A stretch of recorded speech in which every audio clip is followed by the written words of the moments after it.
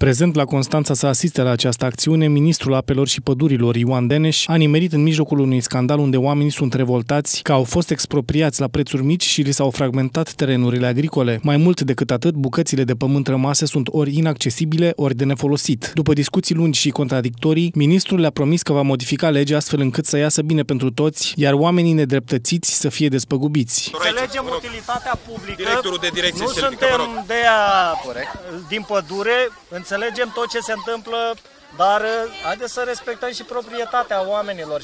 Unde în legea 255 este întrebat proprietarul ce Nu, pretenții eu are? deși- în eu afară deși- dacă mă întreabă doar dacă sunt de acord sau nu.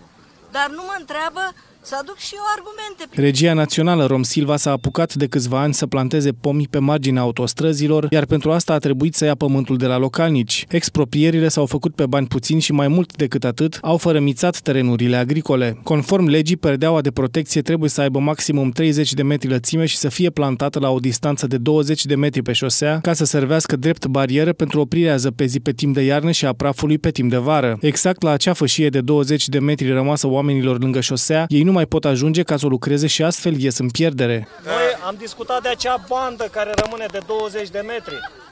Nu nu avem ce face cu ea. De Deci- fapt, perdeaua ne blochează accesul la proprietate. Există vreo Luați-o lege și pe care... aceea dacă tot vă Nu, trebuie. numai, numai puțin. O plătiți la prețul nu, pieței să și vă- asta e. să vă- Începând de acum încolo, eu am solicitat ca toate autostrăzile care se vor face culoare de expropriere pentru autostrăzi, să fie prins și culoarul de expropriere pentru aceste perdele forestiere. Pentru ca să nu se întâmple ce s-a întâmplat acum, În fiecare iarnă, autoritățile se confruntă cu problema drumurilor înzăpezite, lipsa perdelelor forestiere implicând costuri din ce în ce mai mari pentru protecția drumurilor naționale și autostrăzilor în vederea garantării siguranței cetățenilor. România are nevoie de 20.000 de hectare de perdele de protecție, peste 16.000 de hectare pentru protejarea câmpurilor și 3.500 de hectare pentru protejarea drumurilor. Astăzi s-au plantat câteva sute de puieți lângă A2 în drept de Megidia, Salcie, Salcâm și Păducel. Vântul vine, împinge zăpada și, dat fiindcă e o chestie înălțată, îl aruncă ca pe o trambulină în sus, pe vânt. Și creându-i o, o circuit în sus, el oprește bătaia lui aia puternică.